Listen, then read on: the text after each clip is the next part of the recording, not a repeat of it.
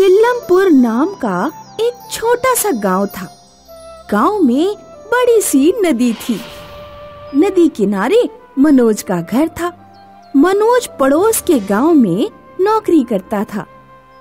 मनोज रोज नदी से बोट में बैठकर पड़ोस के गाँव नौकरी करने जाता। शाम को फिर बोट में बैठकर अपने गाँव अपने घर चला आता। एक दिन मनोज ने बाइक खरीद ली। बाइक लेकर घर आया तो पत्नी सरला बोली बाइक क्यों लाए? रोज बोर्ड से अप डाउन करते हो। ये बाइक तो बेकार पड़ी रहेगी। हाँ यार ये तो मैंने सोचा ही नहीं। अगर ये बाइक पानी में चलती तो कितना अच्छा होता। फिर ये बाइक वाटर बाइक बन जाती लेकिन ऐसा होगा नहीं। भूल जाओ। सरला की बात सुनकर मनोज के दिमाग में वाटर बाइक घूमने लगी। और मनोज बाइक लेकर कालू राम के गैरेज पर आया। यार कालूराम बाइक बेकार पड़ी रहेगी। इसे वाटर बाइक बना दो। मनोज की बात सुनकर कालू राम बोला पागल हो गए हो क्या? इसे वाटर बाइक बनाना हम दोनों की औकात से बाहर है। क्यों नहीं बना सकते हम वाटर बाइक स्विमिंग करते वक्त हम क्या करते हैं? पानी को पीछे खींचते हैं इसलिए तो तैरते हुए आगे बढ़ते हैं। ये बाइक है पानी पीछे कैसे खींचेगी? कैसे आगे बढ़ेगी? एक काम कर ये बाइक मुझे बेच दे। निराश मनोज बाइक लेकर घर आया। दरवाजे के सामने सरला खड़ी थी। सरला बोली मार्केट से एक टेबल फ़ैन लेकर आओ। मनोज मार्केट आया। टेबल फ़ैन की दुकान में घुसा और वहाँ ढेर सारे फ़ैन घूम रहे थे। दुकानदार एक टेबल फ़ैन लाया और बोला इसे ले जाइए। पहला बटन दबाते ही आसमानी हवा खींच लेता है। दूसरा तीसरा बटन दबाने की ज़रूरत भी नहीं पड़ती। दुकानदार की बात सुनकर मनोज का दिमाग फ़ैन की तरह दौड़ने लगा। अगर ये हवा खींच सकता है तो पानी भी खींचता होगा। ट्राई करके देखेंगे। मन पक्का करके मनोज दुकान से तीन टेबल फ़ैन उठाकर घर चला आया। तीन फ़ैन देखकर सरला बोली एक फ़ैन मांगा था तीन क्यों लाए? एक तुम्हारे लिए दो हमारे लिए। फिर क्या? मनोज ने बाइक के दोनों टायर खोलकर टायर की जगह टेबल फ़ैन फिट करवा दिए। फ़ैन तो फिट हो गए। अब हैंडल पर बटन सेट कर देता हूँ और एक अच्छी खासी बैटरी लगवा देता हूँ। थोड़ी देर बाद वो भी काम हुआ और मनोज बाइक लेकर नदी में उतरा। बाइक पर बैठ गया और पहला बटन दबाया। जैसे ही पहला बटन दबाया कमाल हो गया। फ़ैन घूमने लगे नदी का पानी पीछे खींचने लगे और बाइक तेज़ी से पानी पर तैरती हुई दौड़ने लगी। ये देखकर मनोज की खुशी का ठिकाना नहीं रहा। याहू वाह कितना मज़ा आ रहा है। दो घंटे मनोज वाटर बाइक से नदी की सवारी करता रहा। जैसे ही वो किनारे पर पहुँचा, काफ़ी लोग उसकी वाटर बाइक देखने मौजूद थे। कालू राम भी आँख फाड़ कर देख रहा था। कालू राम ठान लिया तो कोई भी काम औकात के बाहर नहीं होता।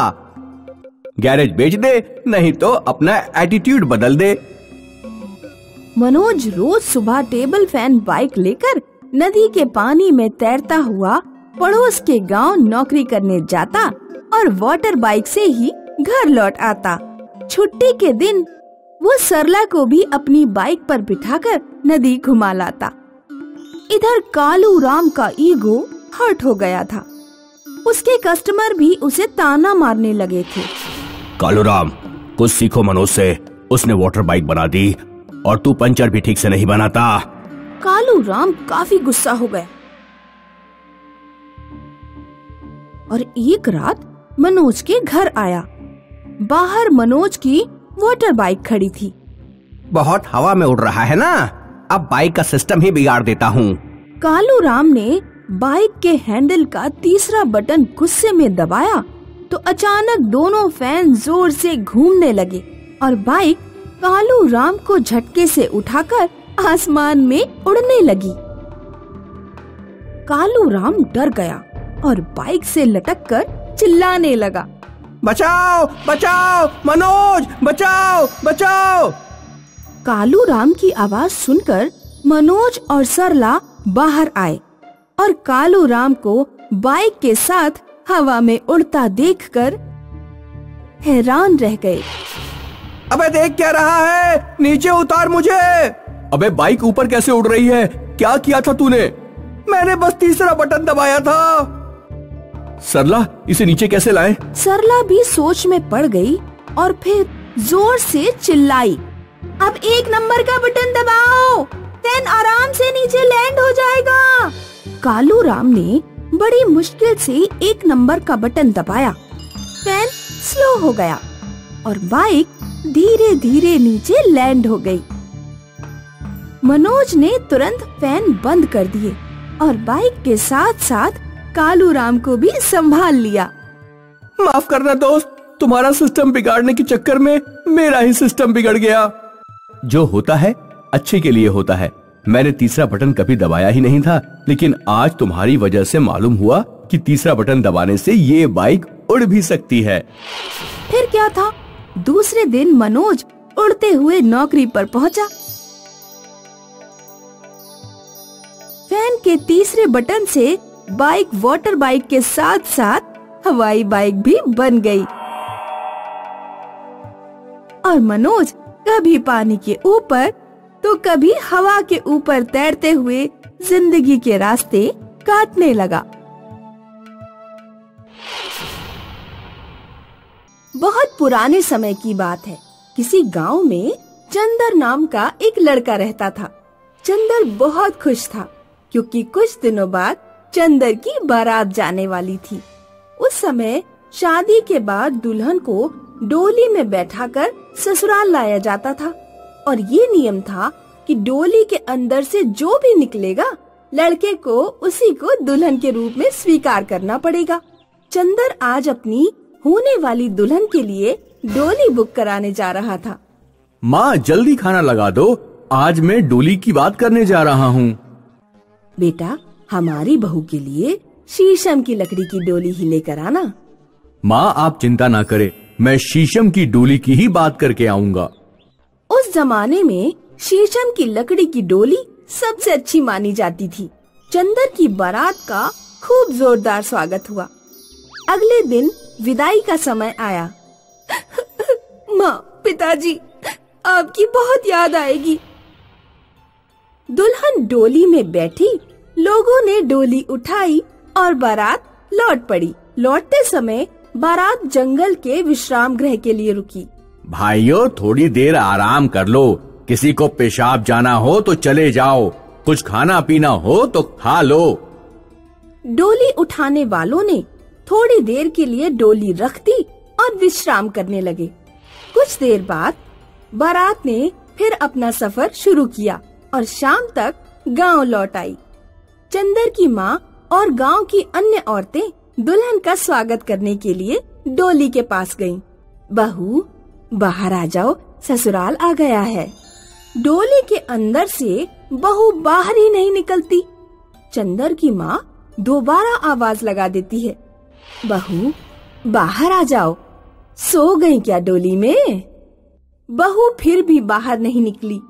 गाँव वालों की उत्सुकता बढ़ गई। आखिर चंदर की माँ ने खुद डोली का पर्दा हटाया। उसकी आँखें फटी रह गईं। हाय राम इसमें तो एक भालू है। पूरे गाँव में खबर बिजली की तरह फैल गई कि चंदर की डोली से बहू की जगह एक भालू ने निकल आई है। ये कैसे हो सकता है? डोली से दुल्हन कहाँ चली गई? गाँव के मुखिया वहाँ पहुँचते हैं। नहीं नियम और रिवाज के मुताबिक चंदर को इस भालू को ही अपनी बहू मानना पड़ेगा। मैं भालू को अपनी बहू नहीं मान सकता। इस डोली में ज़रूर कोई जादू है। इसने मेरी बहू को भालू बना दिया। टोली में कोई जादू कैसे हो सकता है? पूरा गाँव रीति रिवाजों के हिसाब से चलता है। तुम्हें भी नियम और रीति रिवाज मानने पड़ेंगे। उस समय रीति रिवाज सभी को मानने पड़ते थे। गाँव वालों ने चंदर के ऊपर दबाव डाला और चंदर को, भालूनी को ही अपनी बहू के रूप में स्वीकार करना पड़ा।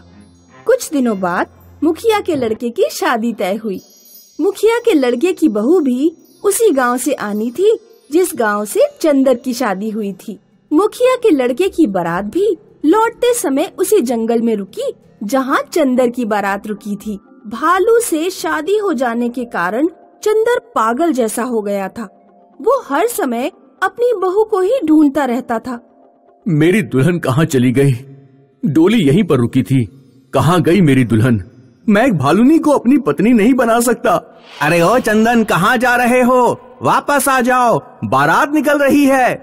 मुखिया के बेटे की बहू की डोली गाँव पहुँची। गाँव की औरतें बहू का स्वागत करने आईं। जब डोली का पर्दा हटाया गया तो डोली में लोमड़ी निकली। पूरा गाँव लोमड़ी को देखने के लिए इकट्ठा हो गया। दुल्हन कहाँ चली गई और इस डोली में भालुनी कहाँ से आ गई? कहीं से भी आई हो मुखिया जी? अब आपके बेटे को भालुनी को ही बहू के रूप में स्वीकार करना पड़ेगा। मैंने भी भालू को अपनी बहू के रूप में स्वीकार किया। रीति रिवाज और नियम माने अब आपको भी मानने पड़ेंगे।